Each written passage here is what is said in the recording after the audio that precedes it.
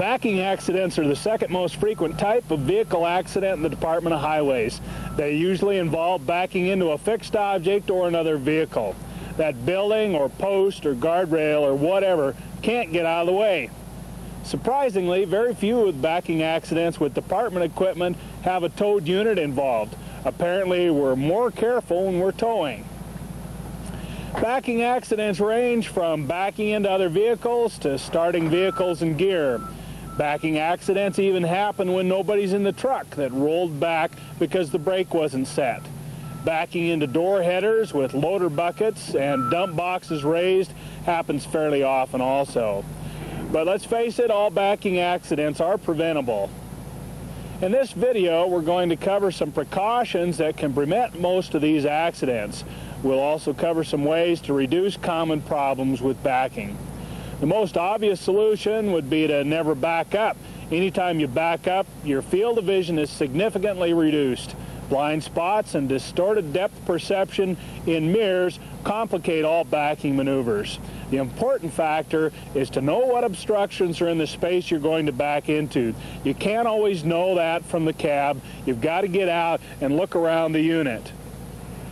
Even if you have a spotter, you are the person in control of steering and the person responsible for completing a safe backing maneuver. Check for obstructions and clearance in your path. Let's start by reviewing the sight problem characteristics of backing maneuvers. There are blind spots on each side and the rear of all vehicles. Mirror adjustments can reduce them, but remember, you've always got those blind spots. At the back of our single-axle dump trucks, the vision area in the mirrors is 3 feet wide on the left side and 2 feet wide on the right side. You have to get 17 feet behind the truck on the left side and 20 feet on the right side to get a vision area in the mirrors 6 feet wide. These shaded areas show the vision area behind the truck. The unshaded areas to the side and rear of the truck are the blind spots. As you back this vehicle, these blind spots progressively cover different portions of the area you're backing into.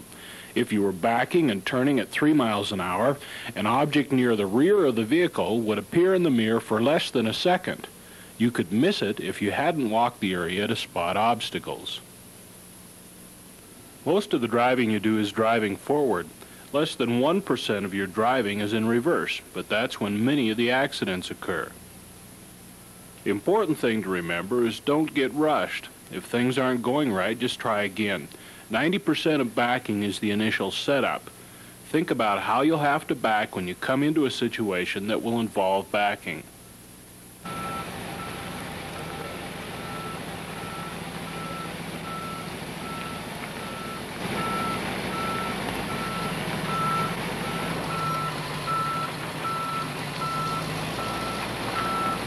You might want to come at it from another direction.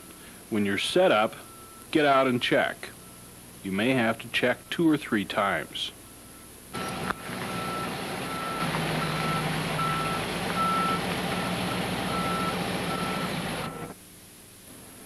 If you are backing out of a garage, the blind spots precede your vehicle through the door. There can be all sorts of hazards lurking in the blind spots, just waiting for you to hit them.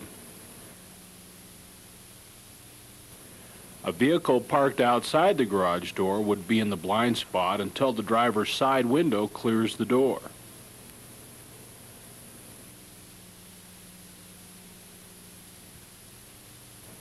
If you began turning without checking your left side mirror, you would back into the parked truck. It's a natural tendency to watch for your right front fender to clear the door jamb. When you're backing, you have to check mirrors frequently. Objects are only visible for an instant. That's another reason to walk your backing area so you know what to look for.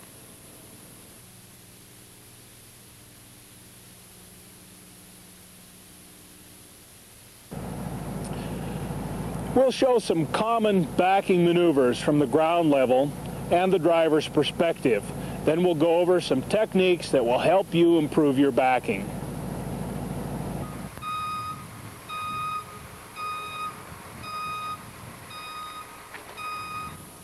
First, let's look at a truck backing out of a garage door and turning.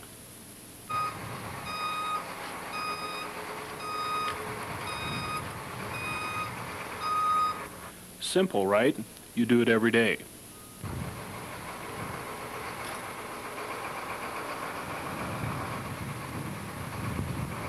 Well, let's look at what the driver sees during the same maneuver.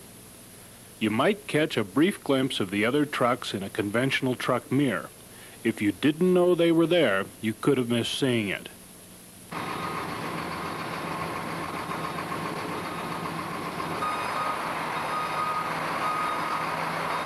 A spot mirror gives a much wider field of vision, but the depth perception is very distorted in these mirrors.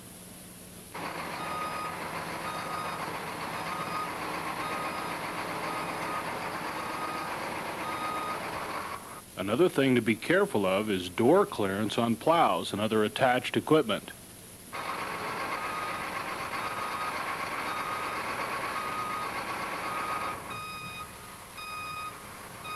This is a blindside back. If possible, avoid backing in this direction. Visibility is very limited. The right side mirror shows a restricted view, and the left side mirror only shows you things you've already cleared. Plan your approach and departure to avoid backs to this side. A safer maneuver would be to back straight out and turn going forward. You'll need more space but it eliminates the turning maneuver while backing. Check the area in your backing path for obstructions, then back straight out. By eliminating the turning maneuver, you can concentrate on the single straight backing maneuver. Anytime you can reduce the number of operations you're doing, you increase your efficiency on the remaining task. By negotiating the turn while going forward, you also get much better visibility for the maneuver. Sometimes using a spotter to direct your backing helps you complete the maneuver with more confidence. The spotter should be in a position that gives a clear view of the area and where you can see him clearly. The two of you also need to be sure of the signals that will be used. The spotter is easier to see in front of the driver. By positioning out to the side in the direction of the turn, the spotter has a better view of the backing area. But the spotter usually stands behind the vehicle. The spotter has the best view possible of the backing area from behind the vehicle, but the driver can only see the spotter in the mirror. It may be difficult for the spotter to stay in a position to be visible in the driver's mirror. Even with a spotter, you may still need to get out and look it over before you start.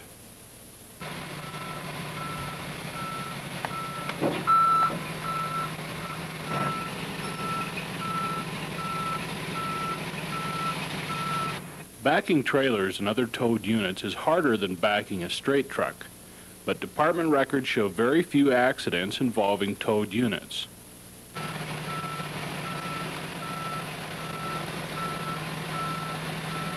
The rear axle of the truck is the steering axle for the trailer. To steer the trailer, you have to turn the steering wheel of the truck in the opposite direction. Some people find it helpful to steer holding the bottom of the wheel.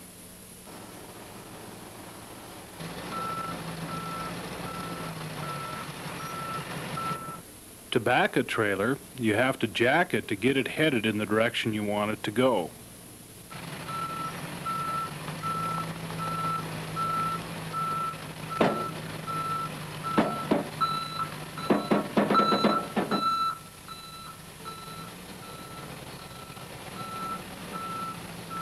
Then you chase it through the back, steering opposite to the direction you want the trailer to go.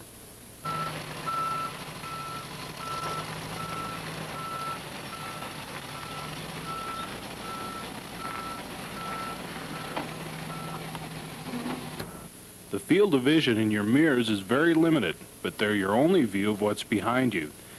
Chasing the trailer in the mirrors, you use small steering inputs. When the trailer drifts, steer slightly in the opposite direction to correct. If the trailer drifts out of your field of vision, it's likely to jackknife and you may have to pull forward to realign.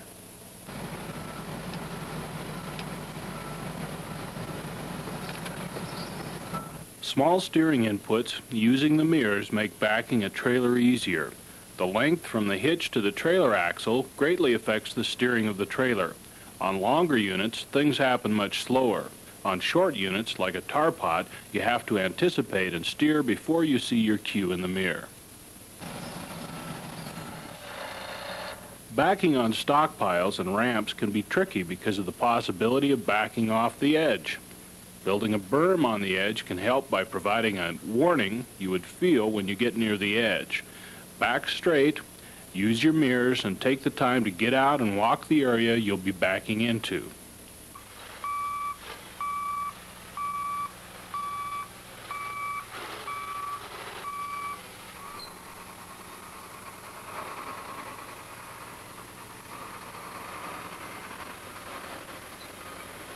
If you have trouble backing, get out some traffic cones and set up a practice area in the yard. A basic serpentine will give you plenty of practice backing to both sides. You'll have lots of room and you won't hurt the cones running over them. As you get better, shorten the distance between the cones.